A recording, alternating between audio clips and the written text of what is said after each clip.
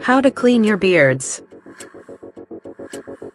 Start with removing all lace tape strips. The tape does not do any harm to the lace or hair.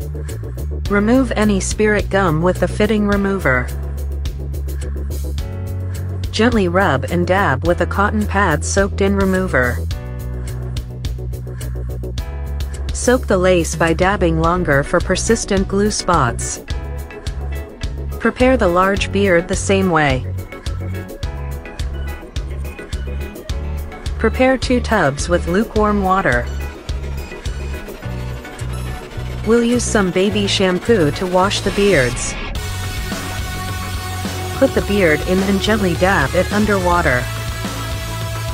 Rub some shampoo into the hair and lace as well.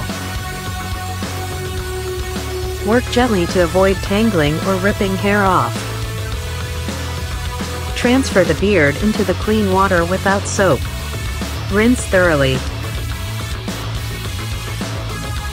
When rinse get the beard out and put it on a clean towel. Only dab it dry and don't rub to avoid tangling. Now you have a fresh and nice smelling beard. When dry you can comb and restyle it.